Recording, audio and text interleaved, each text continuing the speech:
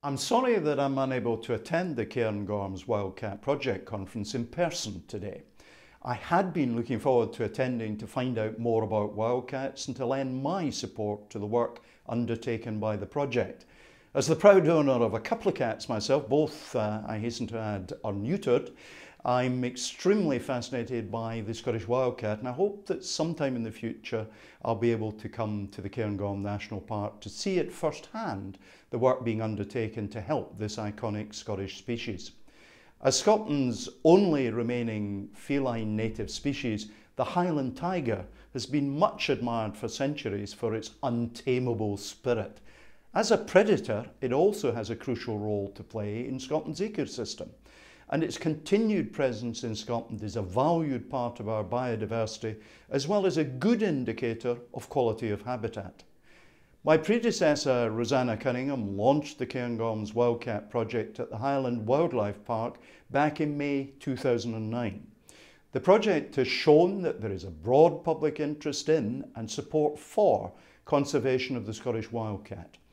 The main aims of this project was to raise awareness of the plight of the Scottish wildcat and their conservation, including the main threats to them such as hybridisation with domestic cats.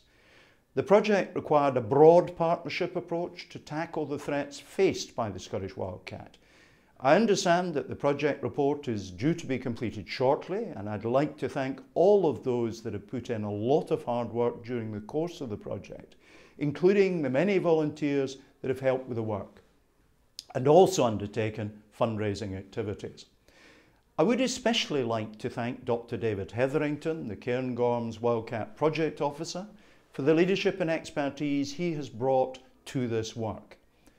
The findings of the report, together with other research being carried out, will provide us with a better understanding of Scottish wildcat populations and appropriate conservation tools. The Scottish wildcat is a fantastic creature, but its status is fragile. That's why it's important that we carry out the good work that has already been done to safeguard this species for future generations. We cannot just sit back and do nothing, or we lose the Scottish wildcat forever. That is why we must do all we can to help this endangered species. In fact, when asked the question recently about what I would like to see among my achievements as Scotland's Environment Minister, leaving the wildcat in a more secure position was right up there as one of the things I feel strongly about. So that is my personal commitment to work with you and to do what I can to help you safeguard the future of this fascinating species. I wish you all a very successful conference today. Thank you very much for listening.